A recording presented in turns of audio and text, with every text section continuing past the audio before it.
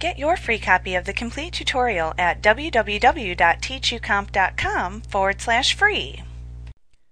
You can create budgets for each account for the two open fiscal years. You can enter either individual amounts per period or allocate a single amount to be distributed by period throughout the entire year. You set up account budgets in the Maintain Chart of Accounts window. You'll first need to select the account ID for the account that you'd like to set up a budget, and then click the Budgets tab.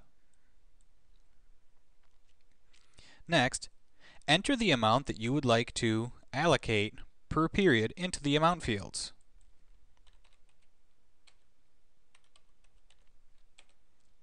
If you'd like to allocate a lump sum evenly across each period for the fiscal year, enter that number into the Allocate field.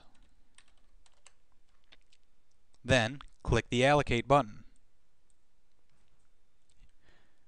If the budget for the next year will be the same and you want to save some time, click the Copy button. Always remember to click the Save button when you're done working with your budget. It's important to note that for accounts which carry a natural credit as an increase to the account, that the amounts entered into the period window for budgeting purposes should be entered as negative amounts.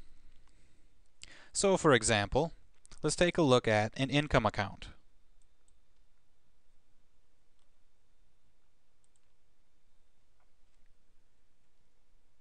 If I wanted to enter a budget to be spread out over this year of $125,000, I'd want to enter it in as negative $125,000. And then, of course, click the Allocate button. As always, click the Save button to make sure you don't lose this budget information.